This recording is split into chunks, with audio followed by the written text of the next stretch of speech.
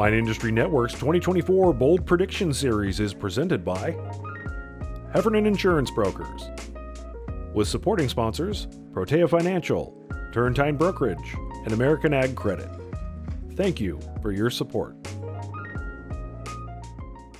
Hi, Liz Bishop and Deborah Costa here from Heffernan Insurance Brokers, and we are your fire mitigation and insurance gurus. This wildfire structure protection unit is a unit that the British Columbia government has been utilizing for about 10 years. And in 2023, there were 500 structures that were saved by this unit. So it has proof of concept. Here today, we have Adam Iveson from Ember Defense to share with you a few important notes about this structure. So this is a structure protection unit. This has everything on board to be self-sufficient. This has pumps, sprinklers, hose lays, bladders, everything to be off the grid to protect your property ahead of an oncoming wildfire. Liz and I, in partnership with Ember Defense, are committed to protecting your winery property. Just think if everyone invested in a wildfire protection unit, together we could ensure that wineries don't burn and make insurance affordable again. Text WASP demo to 707 789 3062 for a free demo on your property. Hey everyone, George Christie here with Wine Industry Network. Welcome to another edition of our Bold Predictions webinar series. Uh, we've got a really good one for you today. It's titled Wine Advocates Push Back on Anti-Alcohol Movement. And of course, it's no surprise that uh, as an industry, we're certainly facing some headwinds, but the efforts of the neo-prohibitionists and some of the information that they're pushing out certainly isn't helping. And, uh, and if there's one thing that I took away from as the session was coming together, the one thing we shouldn't be doing is sitting back and just waiting for it to blow over. That's the wrong answer. There are things that we as an industry can do to push back, and really that's what this session is all about. So I think you're going to really enjoy it. I really enjoyed uh, watching it come together, and uh, I think you will as well. So our panel is great. We've got Gino Colangelo, who's the president of Colangelo and Partners, and Gino's going to present some really interesting consumer data that they recently did. Uh, he's going to be joined by Dave Parker, who's the president of Benchmark Wine Group. Dave's going to present some data uh, around wine being part of a healthy lifestyle. They're going to be joined by Shilah Salmon. Shilah is the senior vice president for Jackson Family Wines, and she's going to share some really interesting initiatives that uh, Jackson Family has going on uh, with regard to connecting with younger consumers. Uh, really good stuff, and uh, and obviously it's very successful. And last but certainly not least, we've got Karen MacNeil, who is the author of the Wine Bible. She's the editor of WineSpeed, and Karen's going to talk about an industry-wide initiative that she is leading along with a few partners. And it's something, it's called Come Over October. I'm not going to get into all the details. I'm going to let Karen get into that, but called Come Over October. And it's something that not only should every retailer, wine retailer uh, in the country get behind, but every winery should get behind uh, Come Over October as well. And it's something that they should be a part of. And I think if we can collectively do that, we can move the needle. So I think you're going to enjoy that.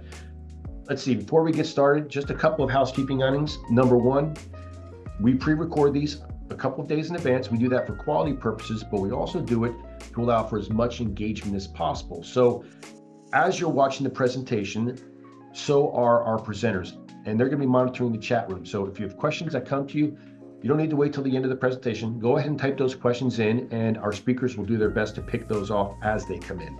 Now, that being said, we are not going to get to every question that was submitted. We had so many questions that that came in during the registration process. You might remember that there was an opportunity to do that.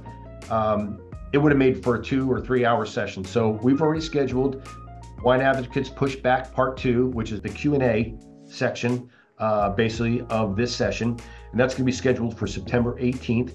You'll see a link in the chat. We'll send you an email, but definitely sign up for that. That's where you're going to see our speakers get into a, a bit more detail as they as they take on all the questions that came in. So keep an eye out for that.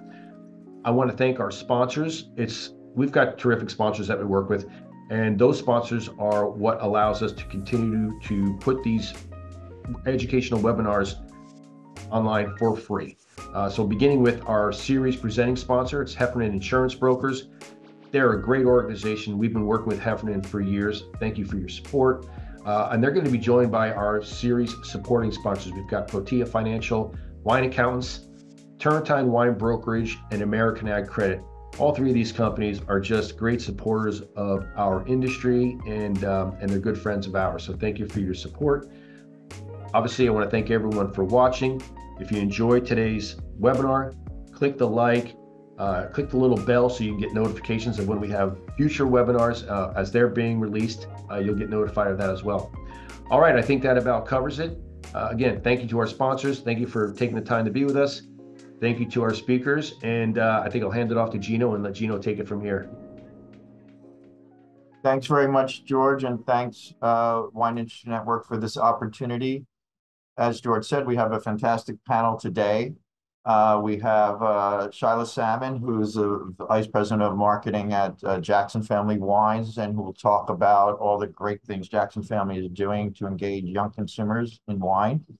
We have Dave Parker from Benchmark Wine Group, who will talk about some of the challenges along with me are presented by uh, anti-alcohol forces and what Benchmark Wine Group as a leader in online sales is, is doing uh, to advocate for wine. And we have Karen MacNeil, um, the foremost writer on wine in the United States, who will talk about specifically a campaign that Karen conceived and is now going uh, full swing with the support of many in the industry, including Jackson Family and, uh, and Benchmark. So I'm Gino Colangelo. I'm president of Colangelo and Partners. We are a wine-focused public relations agency. Um, we are a group of 75 people who love wine, drink wine, advocate for wine, talk about wine. And wine is really uh, essential to our livelihoods and, and to our lives. Um, about a year ago, I started uh, reading a lot of negativity about alcohol generally and wine specifically in the press and start to get concerned. Uh, wine is my livelihood and it is my passion. And I had many conversations with many people in the industry, from producers to importers to wine trade organizations to journalists, to figure out what was happening and how we can respond. And um, then in December, I commissioned some research with John Gillespie and Wine Opinions to get some hard data behind our concern. And I'm gonna I'm gonna share now um, just a, a, snapshot of that research. Uh, and this research, this full research is available to anybody who would like it to reach out to me. So uh, part of our research was about dry January and sober October. And we saw these really concerning numbers that 64% of 21 to 39 year olds either have participated or plan to participate in dry January and or sober October. And I did the math. My math isn't great, but I can figure out that two months out of 12 is 17% of a calendar year.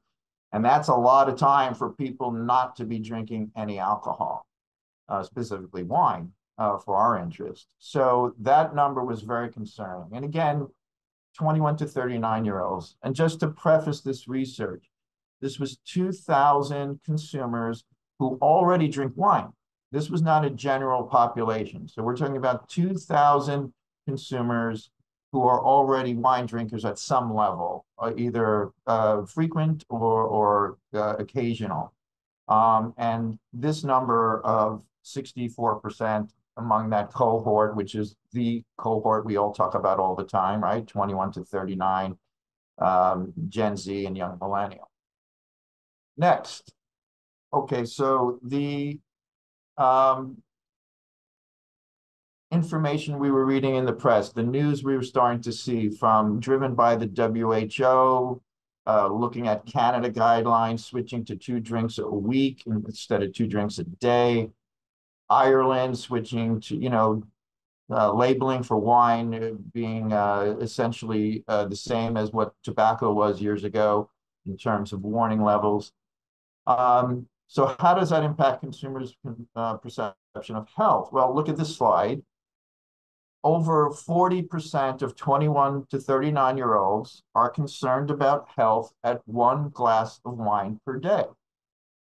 That's pretty extraordinary to me because from I'm 64 years old and for my whole life I've heard two drinks a day for a man and one drink a day for a woman, right? We've all grown up with that, or those of us of my age. And now young people are going to be uh, starting to worry at one glass a day or even less. And that's an alarming statistic because that impacts long-term uh, consumption. Changes in dietary guidelines. We all know that there are there's currently in Congress uh, discussion about changing the dietary guideline and possibly following the Canadian guideline of two drinks a week. So if you look at this slide, 21 to 39 year old, again, we have over 60% would uh, consider adopting new guideline, cut down uh, based on the guideline, and give or give consideration based on the new guideline. So again, if I'm 25 years old and I get conditioned uh, that two drinks a week is the maximum amount of consumption for safe drinking or safe consumption of wine, I'm looking at a lifetime of reduced consumption that could impact uh, you know the business in in in really dramatic ways if young people really buy into these to these new guidelines. And our research suggests that uh, it's likely they will. So uh, based on this research had many more conversations had a conversation with karen MacNeil uh, and karen came back with a big idea that she will address later, but uh, for a campaign to advocate for wine with positive messaging. And um, we created a company exactly for that to advocate for wine with positive attributes. We're not arguing health, we're arguing about the positive uh, impact of wine on our lives and on, on people's lives. So with, I'll let Karen speak more to that. Uh, she will finish today's uh, presentations. Dave will speak next, and then and Shilah will follow Dave. So Dave Parker, founder and uh, CEO of Benchmark Wine Group, will talk about uh, some of the threats from the health perspective and some of the anti-alcohol lobbying. Um, Dave, uh, if you want to please take it away. Okay, well, thank you, Gino. Uh, it's very interesting, the stats that you presented. Uh, one of them that you showed me is how few people think of, of wine as heart healthy. I grew up uh, watching shows like uh, the famous 60 Minutes episode, uh, where it drove home the, the value of, of, of wine with respect to heart health. I'll show you a little clip just toward the end here. Yet, if you go to, to the north in France, there not, not that much olive oil. They're using more there butter no and cream. Oil, of course. And yet the rates are still lower there. Now, why are, why are the rates in, in Lille uh, lower than in, in Boston? Well, uh, my explanation is, of course, the consumption of alcohol. There has been for years the belief by doctors in many countries that alcohol, in particular red wine, reduces the risk of heart disease. Now it's been all but confirmed. The wine apparently affects the platelets, the smallest of the blood cells. It is platelets that cause blood to clot. They prevent bleeding.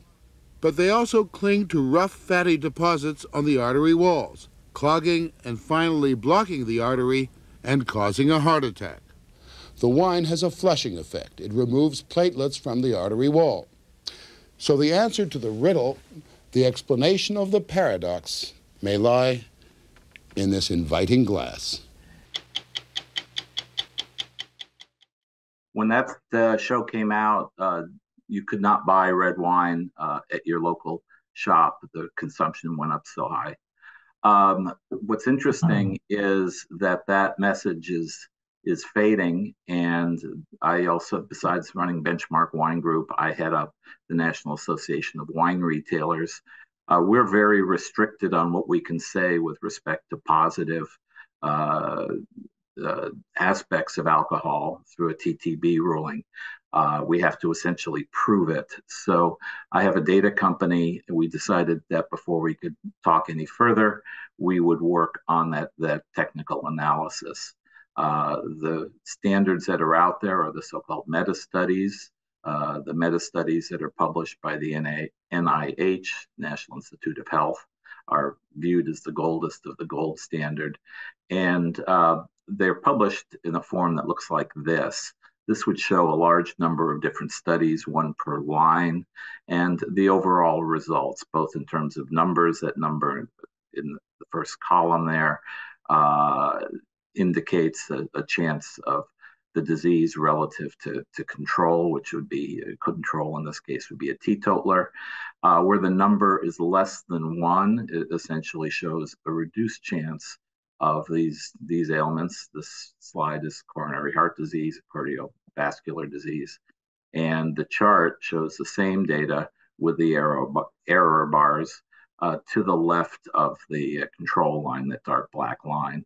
And you'll see that all of these studies, virtually with the exception of two of them, demonstrated uh, that the, the chance of getting coronary heart disease and cardiovascular disease, and the third chart is death, is mortality, are all dramatically reduced uh, th- through consumption of alcohol.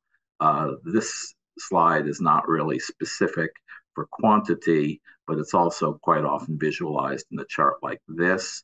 Uh, the blue bar is cardio, uh, is heart disease. Second bar is vascular disease. Third one is stroke. Uh, and you see here for consumption of different levels of alcohol. Uh, normal drink is about uh, 13 grams. So the first chart shows you the the effect of uh, minor consumption. The second one up to about a drink, drink and a half the third one up to about two drinks, uh, and so forth. Three drinks, four drinks, and up to five drinks in the in the last slide. But in every case, you'll see heart disease is significantly lower, cardiovascular disease significantly lower. And here you do see some negative effects at high consumption rates, in this case for stroke. But these are the kind of, this is the data that we took a look at. Uh, and, and in fact, it confirms what, what uh, 60 Minutes said in terms of the reduction of heart, heart disease. And there have been thousands of these studies. Um, recently, the World Health Organization came out with a statement that no amount of alcohol consumption is safe. And uh, although it's a little hard to read, what they're saying is that uh, alcohol is known to cause cancer. Cancer is the largest killer in the EU, and therefore, uh, all levels of alcohol are bad. Although they mention there in the green, there are there are positive effects for heart disease uh, and and for uh, diabetes. As a matter of fact, they brush over that and say sort of ignore the man behind the curtain because this uh, alcohol creates a higher level of cancer. Uh, it's always bad, uh, which is an extreme statement. this was pu- forced upon the Lancet, which is the national Health magazine of Great Britain. They were forced to publish it. They didn't want to. So we thought we'd look at that data. So we looked at diabetes. Uh, this is in a chart form. Same thing, one being teetotaler. And you can see that the, the average uh, uh, chance of, of mortality from diabetes comes down with, with several drinks. First chart is for women, uh, which is more pronounced. And for men, it's also a little bit lower than one for moderate drinks. And then it goes up, which is not terribly surprising. We'll see that with more of our data. Um, then we took a look at cancer, which is what the WHO addressed directly. There are lots of different kinds of cancer, um, and some of them, in fact, are reduced by alcohol consumption. Interestingly enough, melanoma, uh, kidney cancer, and several go down but preponderance uh, they do go up. So the WHO is ac- accurate in that regard, especially breast cancer and liver cancer for women, and oral pharynx cancer for men are the are the are the highest risks. Um, but taken together with uh, heart disease and diabetes, what we had to do was ha- take a weighting factor on those chances that I just displayed and we took the average chance of a person dying of a particular ailment, as you see, you can see here. Those are in those orange columns. From they're different for women and men. Uh, as you can see, heart disease uh, is, a, is, a, major killer, killing 22 to 24 percent of people. If you take the percent chance of reduction from the, the previous meta studies that I showed you, multiply them by that as a weighting factor, you get some pretty substantial reductions in overall chance of death uh, from heart heart attacks uh, and cardiovascular disease from one to two and three to four drinks. Um, and the the effect is even there at higher levels, levels that might be very unhealthy for other diseases. Diabetes also is chances are reduced, and it's a substantial killer of people. Then we take the various cancers, uh, and we lung cancer being the biggest killer of, of all of the cancers. Uh, we take each of them, we multiply them by the the increase or decrease uh, chances based on alcohol consumption, and we get these other ones. And I highlighted the the, the, the biggest negatives for women in pink and, and for men in blue, but the yellows in general are, are negative on this chart, and the greens are a positive health effect on this chart. When you sum them up, you get a classic J curve where one to two drinks, even three to four drinks, all things considered, thinking about heart attack, heart disease, diabetes, and cancer, you still you're still ahead. Uh, only when you get up to this five to seven level uh, is it pretty clear that uh, the the higher level of cancer takes over and your your chances go down. Um, the Lancet said the same thing in the same issue that they were forced to publish. The WHO statement, they came back and said that many studies show that low or moderate amounts of alcohol, especially red wine, can reduce, car- reduce cardiovascular disease, diabetes, and even death. It's exactly what our data showed. Um, they also mentioned that dire warnings about alcohol and cancer have the potential to be ignored by many people as undesirable and unattainable. Uh, people just flat out stop listening to the moderation method and do it uh, moderation message and do what they want. It's also important to put the results of these studies in the context of absolute levels of risk uh, versus relative risk associated with alcohol intake, which is actually generally quite small. Um, and in fact, if you look at all the causes of cancer in Europe, of all the things that have been proven to to, to increase your chance of cancer, alcohol is actually the lowest. Smoking, not surprisingly, is the highest. But second worst is your choice of diet. Uh, estrogen, primarily birth control pills, is a major uh, influencer, as is infection. Diseases like HPV are, are known to, to cause cancer. Uh, so alcohol in the bigger picture of what can cause cancer in, in Europe or in the world is actually tiny. Um, and then again, you have to weigh it against the positive effects for heart disease and diabetes. Uh, this is the guy, Raymond Pearl, that originally came up with the positive message on alcohol, expectation of life.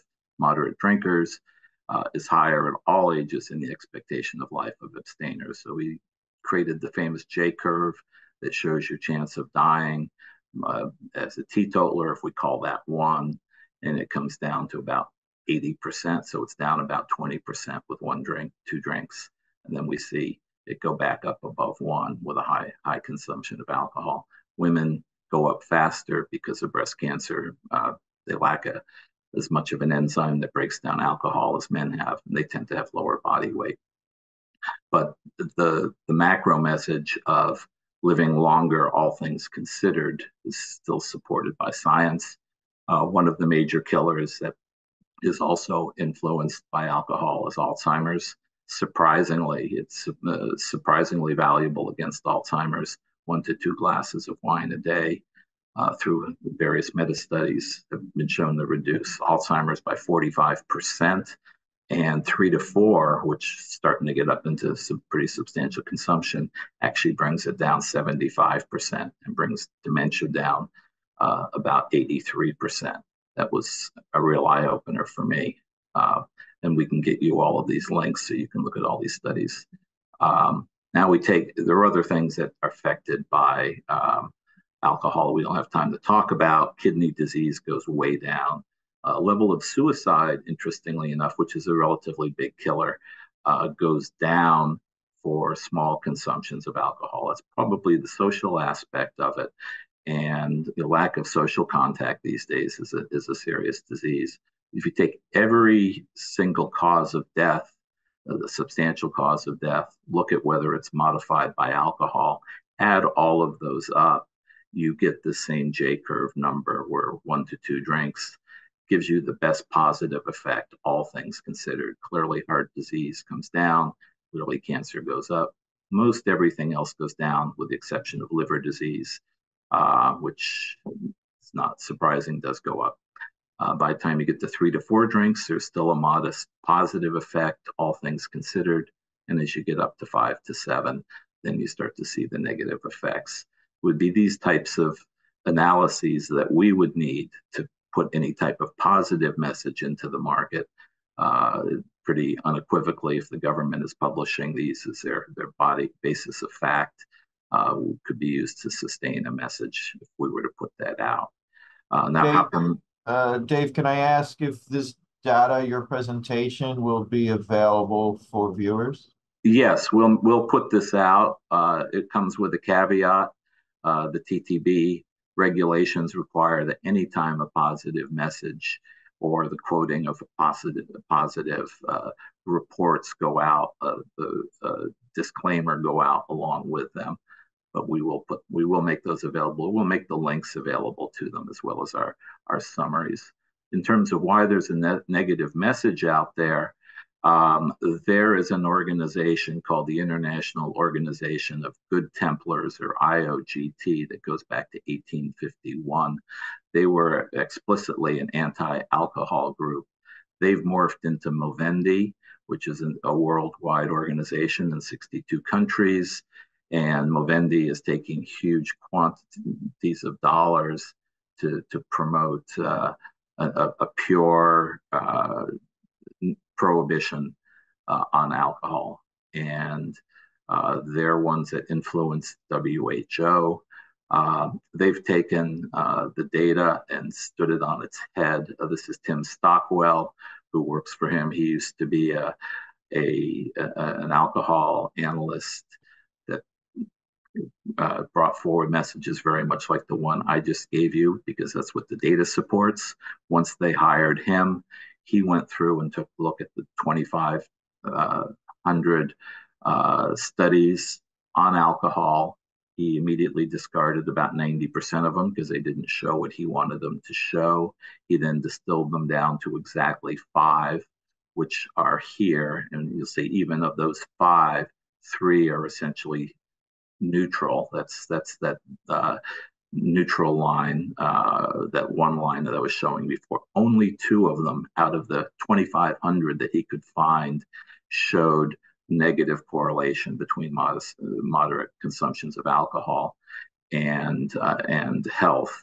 And so he used those two and averaged those two to say all alcohol is bad. Now that's that's the worst form of of non-science to cherry pick that that much data and only and only display what uh, what you feel is carries the message that you're being paid to, to create. Uh, he is partners with a gentleman named Tim Naimi, uh, who gets himself on a lot of boards, including the board that uh, uh came up with the, the, the dramatic reduction in Canada. As it turns out, although it's been widely published, publicized that they have reduced their recommended recommended level of alcohol to two drinks a week. Turns out the the government in Canada rejected that study as non-scientific and, and holds to their current level, which is three drinks per man per day and two for women. That's still the official uh, regulations on the books. However, uh, Mr. Naimi and many of the other people on the Canadian board and other prohibitionists have been put on the panel to study um, the, up to, uh, date uh, health guidelines, and so we're very worried that they'll uh, go in in a similar direction to the one that was announced in Canada. So, uh, as the National Association of Wine Retailers and as a, a, a wine wholesaler and distributor, we're looking at how we can take forward the message, and we're happy to be working with Come Together and some of the other groups in, in that endeavor. Dave, thanks a million. This data is fascinating and it's uh, illuminating. Uh, I just want to mention there is a book called The Very Good News About Wine that is very digestible, very readable. There it is. Shilah has it. Um, I would encourage uh, all all the viewers of today's webinar to look into getting that book as well as uh, getting Dave's research. Here, you know, I'm not a research guy; it's a little dense for me. But Um, Dave explained it really well. And um, so that's kind of the scary part of today's webinar. And now we're going to get to the positive actions that the industry is taking. First with Shilah from the producer standpoint, Jackson Family is a leader in wine uh, in terms of making great wine and also in terms of marketing wine really well. Nobody better than Shilah to talk about that. So Shilah, do you want to take it away? Thank you, Gino, for the introduction. I think we're, to clarify, kind of talking about two things. One is wine and health. And the thing that Jackson Family is addressing the most is the health of the wine industry. So, as a supplier, we can't talk about wine and health. We can't make any of those claims. But what we're most concerned about is the negative headlines right now that are actually, in some ways, maybe sabotaging our own industry that this negativity in the headlines is not always backed up by facts and that there's a lot more nuance to the story. And so, how I want to look at this presentation is going beyond the headlines a little bit, showing you guys what the work that we're doing, and then pointing to the opportunity in wine. So, we know there's this looming um, FDA possible changes, but in the meantime, we need to make sure that our industry stays healthy and competitive, competitive amongst other beverage alcohol, competitive against cannabis, um, just competitive in the way that the wine industry has always been to continue to grow share. So, the goal of Beyond the Headlines is a strategy that we've created and worked on to combat the negative perceptions around the health of our business and to collaborate with our partners, our suppliers, media, trade, and regional organizations to put together initiatives to amplify our positive narratives. We've met with the WSWA, with most regional organizations around California and Oregon. We've met with um, most larger media outlets. Um, we have presented to a lot of folks this presentation in depth, and I'm going to give you guys just a very small version of it. But the big headline here is that we say this internally all the time. Headlines used to sell newspapers, but now headlines are the news.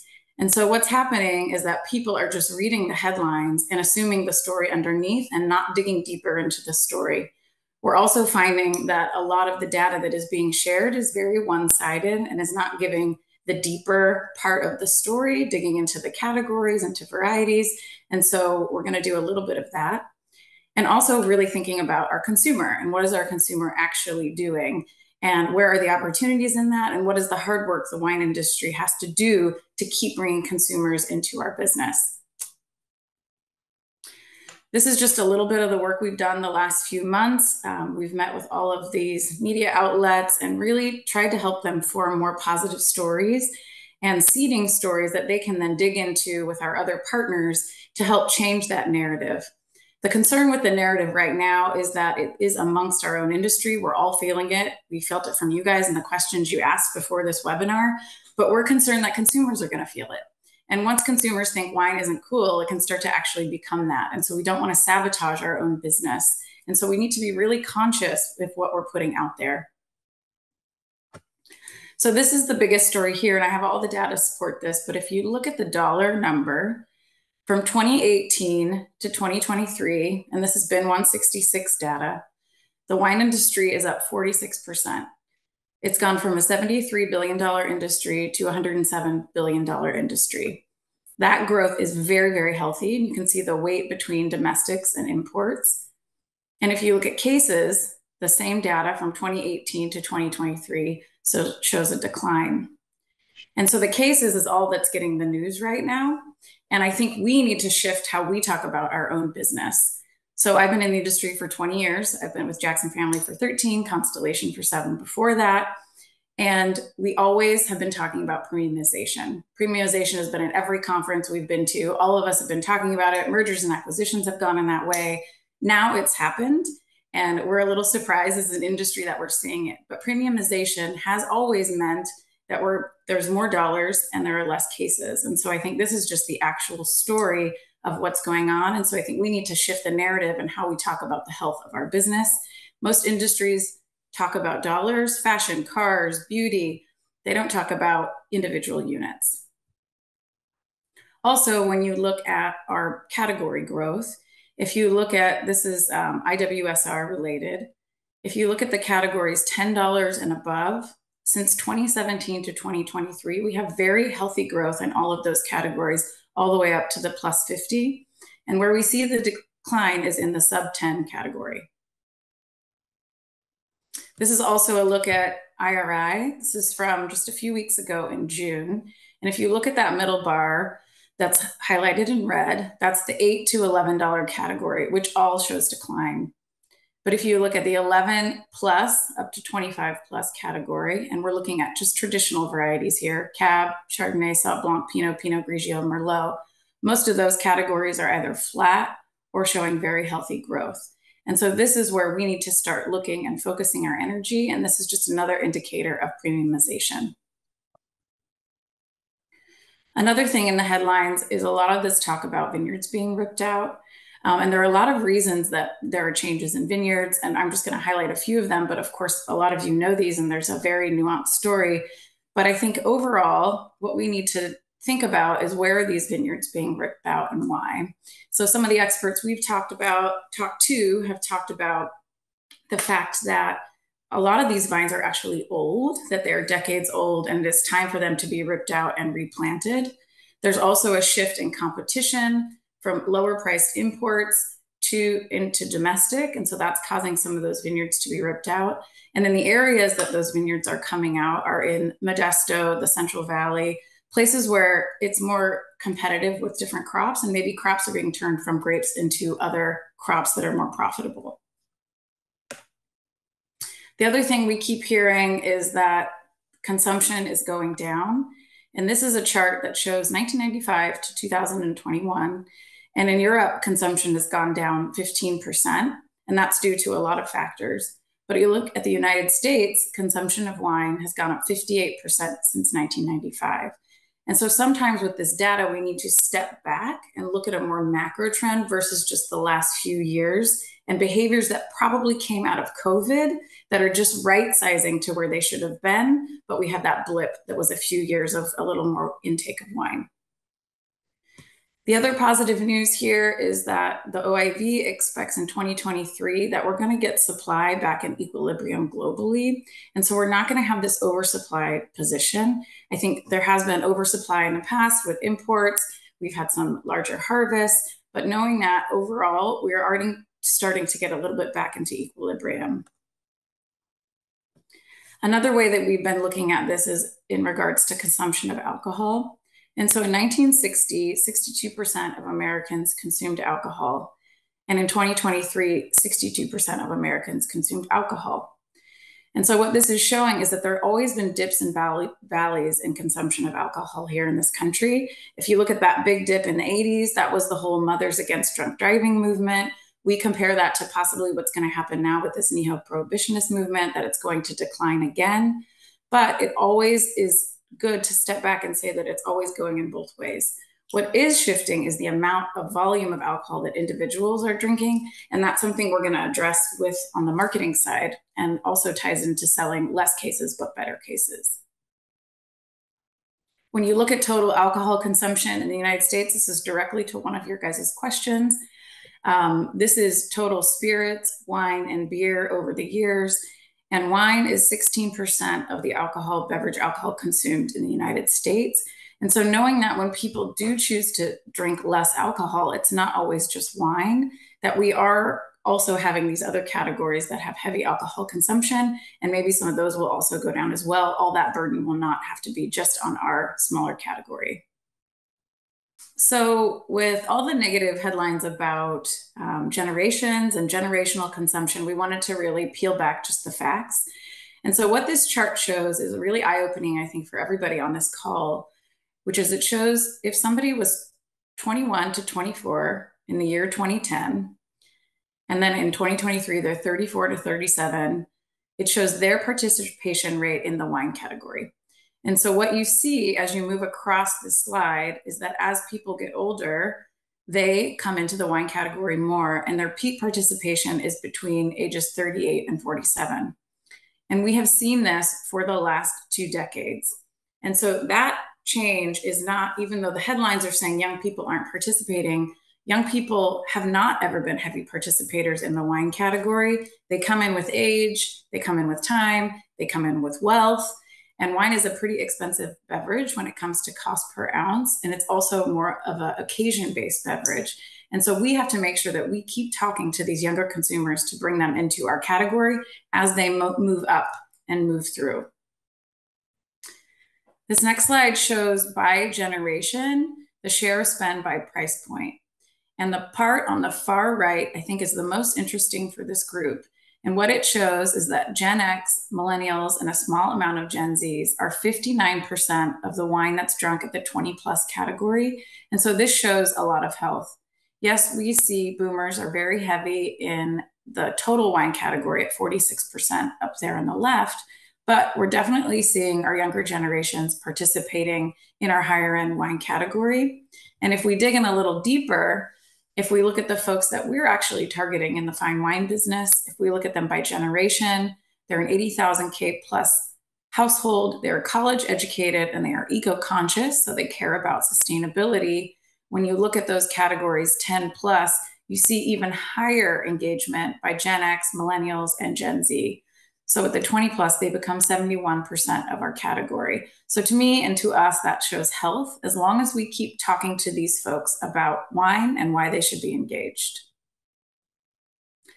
The last part on the data front, before I get into some really fun solutions for all of us, um, is looking at what consumers say versus what they do. So a lot of in the data, it's survey data that you see in headlines and survey data doesn't always tell the truth. So, this is a source that we use that's called Numerator. We get information from 90,000 receipts, and this compares 2019 all the way to 2023. And what we see in that comparison is that versus 2019, people are buying $324 on average year in the wine category, which is up from 2019, and that they are buying more often wine than they did in 2019 as well. And so both of those metrics show health, and that is actual receipt data. So, the fun part of this conversation, which I'm just going to give you a top level, but is just distilling how do we meet consumers where they are right now? And how do we talk to new consumers? How do we get people more engaged in our category? How do we get them to trade up? How do we bring them in? And how do we do this by generation? And so, a couple opportunities. One, share this data, share this with your teams use it for brainstorms, use it when you're working on your annual plans, and also share it with your distributors because we need to make sure that we're talking about the health of this industry constantly and the opportunity within it. The next one is very important to this younger generation is being sustainability driven and being authentic in that. So greenwashing, everybody is very very hypersensitive to greenwashing. So make sure when you make these claims about what you're doing with the land, what you're doing in the vineyard, what you're doing with your winemaking, they are authentic and true. And if you cannot make them, do not. Um, consumers will see beyond it and they will call you out on it. Um, so, making sure that you're telling the real story of what's going on in your vineyards through your wineries. Another thing that we know is very important to this younger generation is health and wellness. And so we need to make sure that we're transparent about this. If you think about all the products that younger generations are buying in the grocery store, they have ingredients. Even often water says gluten free on it and vegan. Everything they buy says what's in it, and wine does not. And so we're not arguing that we need ingredient labeling on wine, but we do need to tell people that there's not a bunch of additives in our products and what is actually in the product. Right now, we just did a wellness survey, and 48% of consumers believe that wine has more sugar than other alcoholic beverages. And we know that this is absolutely not true. It's just because we don't talk about sugar and calories on our packages. And there have been some wine companies that have made claims about sugar in wine, and they have really stuck with consumers in their messaging. And so we need to co- counter that very clearly. You guys can see our Murphy-Goode label down there on the right and our Copain label where we've put ingredients. We've also put no artificial flavors, no added sugar, and no artificial coloring. And so that's just some examples of things we're trying to put on back labels. The other opportunity for you guys is digital marketing. We need to be competing with the seltzers, with spirits, and with beer, and make sure that we're keeping our edge in the digital space and bringing people into our category. And also working with influencers. You guys had some questions about influencers. We find a lot of value in influencers as spokespeople in the wine space. And there are also um, ways that you guys can do commission based programs with influencers so you can directly see the value. So if you invest with an influencer, you can set up a commission program where they make a dollar amount off the wine that's sold. And so that is really an easy way for you to measure ROI. As a wine category, we need to make sure we bring in diverse audiences, that we're talking to multicultural folks around the country, that we're talking to LGBTQ plus audiences, inviting them into our space. If you look on the right there, that is a campaign, Saluda la Vida. It was a campaign we did, uh, we ran in Chicago. It was done um, in Spanish and in English and also in Spanglish, which we found out through working with our local teams in Chicago. And it was promoting Latin cuisines. And this is um, something we had a lot of success with, and we'll be rolling it out nationally. We all know that Mexican food is the most eaten cuisine in the United States. And so making sure that we're talking about cuisines and things that are actually in people's daily lives when we're talking about wine. And then when it comes to LGBTQ plus messaging, we need to make sure that we're not rainbow washing, that we're actually speaking to that audience and engaging, um, as Jackson Family Wines and La Crema, we participate in 12 Pride festivals around the country each year and talk to this audience in an authentic way. We also work on political action groups and donating money to ensure that rights are protected. So for us, we're t- telling the authentic story about the values of our company, which ties into the next point. The other thing for wine messaging is to make sure that we're speaking in simple terms and using less pretension. We have heard often from our research that wine has been seen as an exclusive beverage, not an inclusive beverage. And so making sure that we're inviting people, even through language, into our space. Experiential is very important. Events, I will tell everybody, get beyond the traditional wine events, go where other wineries are not, and put wine in front of people where you can engage in an authentic way, give them a moment to taste. But we can't all keep talking to the same people at the same events around the country. Partnerships are very important. This is the big one that we're doing. We just announced our official partnership with the NBA and the WNBA, as you see up there on the right. This is a four and a half year partnership that we've just rolled out. And the goal of this is really to reach a young, more diverse audience and tell them that wine is to be drunk in high energy occasions. We've heard that wine is known as a low energy occasion beverage, and we want to make sure that wine is associated with fun and all your occasions, whether you're at a game, whether you're at a watch party, and then also tacking on to the WNBA right now and just the the energy around this league and what they're doing and what these women are doing and really standing on the values of women in sports and what that means to this country. So we feel really good with this partnership but I think we have kind of a throwdown to other wineries to get in there and try to find new creative partnerships. Um, and you don't always have to have all the money. I think there's a lot of value wine has. And so having the product as the value, not just the cash, because as we know in wine, we are cash low, um, but we do have a very, very high value product. Meet consumers where they are, be scrappy, be inventive, have fun. I think that's my throwdown to the wine industry is get back on your horse, let's get competitive again and make sure people are coming into our space. And then last, I just want to end on transparent wellness and better for you related terms that in wine, if you're speaking in a legal and factual way, there are ways that we can talk about this to relate to this audience, talking about the fact that we're plant based, that we're natural, that we're sustainably farmed, that we are sometimes regeneratively farmed, that we have organic grapes, biodynamic, that we are most often vegan, that we are often gluten free, that sometimes we have zero sugar, that we have no sugar added, which is actually not legal in California, that we're made with 100% grapes, no artificial colors, no artificial additives. These are terms that were legal and factual with your wines you should be using when we're talking to our younger consumers and ensuring that they know that there's nothing hiding behind that label.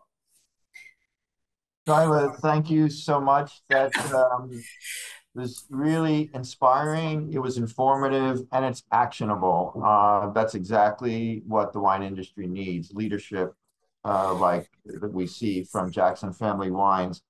And, um, and, and we love the messaging and we love the the sort of the guidance and um, and now we're going to go to Karen MacNeil uh, to further the actionable advice and uh, engagement that we as the wine community need with consumers. So, Karen?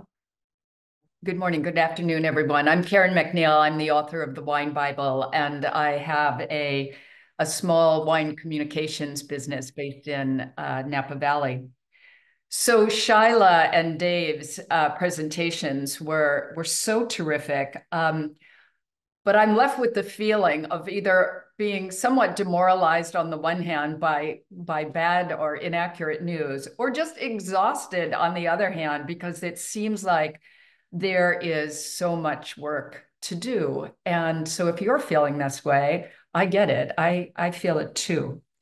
But as a journalist, I think that there are critical storylines, really important messages that the wine industry can tell and has uh, not yet sufficiently told. So I'd like to tell you now about um, a project called Come Over October. So this project, Come Over October, began in January of last year when I did a video called Why I Hate Dry January. And um, it got, much to my surprise, uh, 17,000 responses and shares and lots and lots of commentary. And the first response was from a sommelier at a very, very famous restaurant who said, You know, Karen, I love the wine Bible, but you have this completely wrong. People should take a break from wine. And I'm thinking to myself, my goodness, this is a sommelier from a very famous restaurant. And uh, the conversation sort of flew uh, as conversations can on Instagram. And at the end, I said, you know, I understand the idea that everybody should do what is right for their own body. I'm a woman, I get that idea. But I have um, three objections. One is that somehow the narrative around wine has devolved to a conversation about alcohol.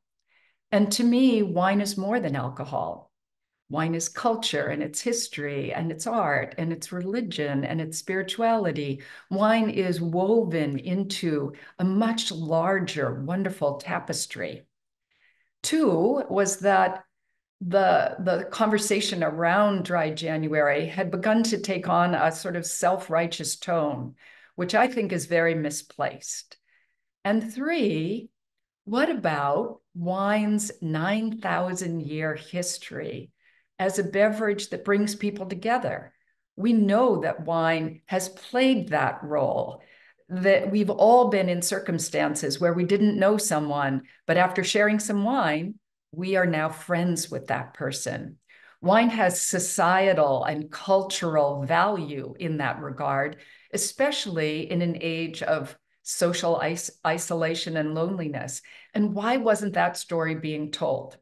So one morning, walking the dog, as I was kind of grumbling to myself about why the wine industry didn't do that, didn't tell that story better, I said to myself, You're a word person. You should tell that story. And so popped into my head the idea for a nationwide month long campaign called Come Over October. And very simply, you would every wine drinker um, in the country would invite a neighbor, a friend, a colleague, um, a, a family member to just come over and share some wine. Come over to a house, come over to your home, come over to a winery, come over to a restaurant. Just come over and share some wine in honor of wine's long history as the beverage that brings us together. No talk about medicine, no talk about health studies, no talk about any of those things, just sort of rising above that fractious, you know, study versus study and, and go back to something that we know to be true and authentic about wine as a beverage that is communal, that brings people together. So it was early in the morning. I called Gino and said, So I just had this idea. And it's either like a really bad idea or it's a pretty good idea. And I, I need someone who really understands communications to tell me. And he said, I think it's a really good idea. And then we called Kimberly Charles, um, and who also, like Gino, owns her own marketing and communications and PR company, and said, What do you think about this idea? And she said, Ooh, this is a really good idea. It's simple and it's very positive, and it's something that the wine industry can execute at all levels from importers to retailers to trade groups, right down to um, consumers in every part of America. And so to flash forward now to the present, uh, Gino, Kimberly, and I formed a mission-driven uh, company called Come Together, a community for wine. And that company, uh, to which, by the way, we, the three of us, are donating all of our time, that company has launched the Come Over October campaign. We have a Come Over October website. We have a digital campaign. We have assets that wineries, trade groups, and retailers uh, can use posters, logos, table tents, all kinds of uh, assets that can be used free of charge.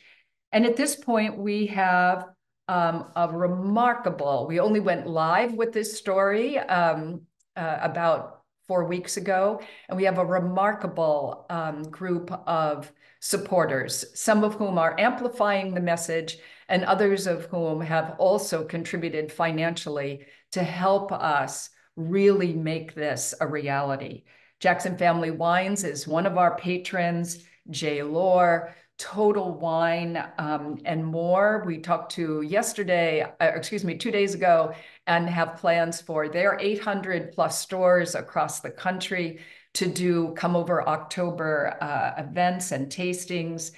Gary's and wine.com, Buy Rite, lots of retailers are, um, are in on this idea. Lots of wineries are. Pardon me, Gino? Benchmark Wine Group. Yes, Benchmark Wine Group. Sorry, Dave. Yes, Dave. Dave was one of our original supporters as well. We have about $50,000 in donated media. Um, I'm in the media. Uh, and so, um, and Gino and Kimberly are as well from a different uh, side. And so we kind of got people to donate some really solid media uh, for us.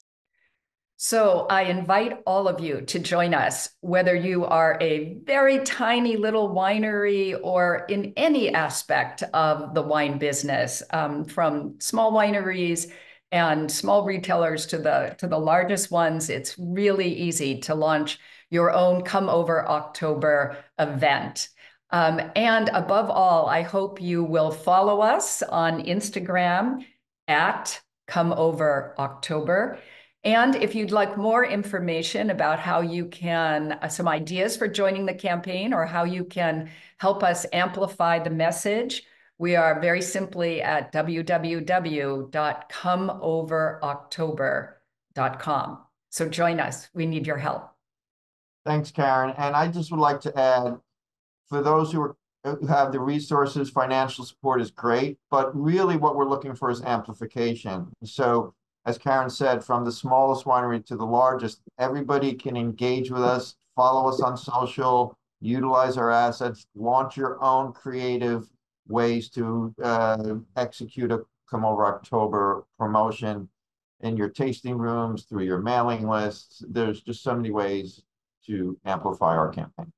And most um, wonderfully and interesting of all, we have press conferences coming up.